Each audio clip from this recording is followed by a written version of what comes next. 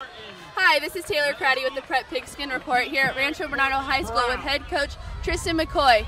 Coach, you guys are undefeated so far in this season. How do you think that's going to play out with tonight's game?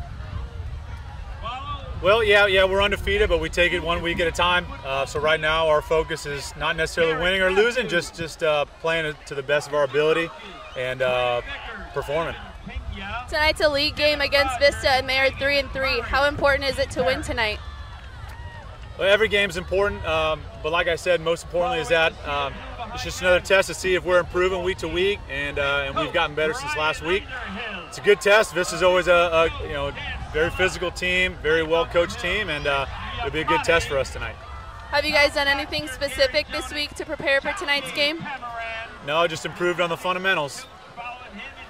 Now, your team has put up a lot of points each week this season. Do you think that will happen again tonight?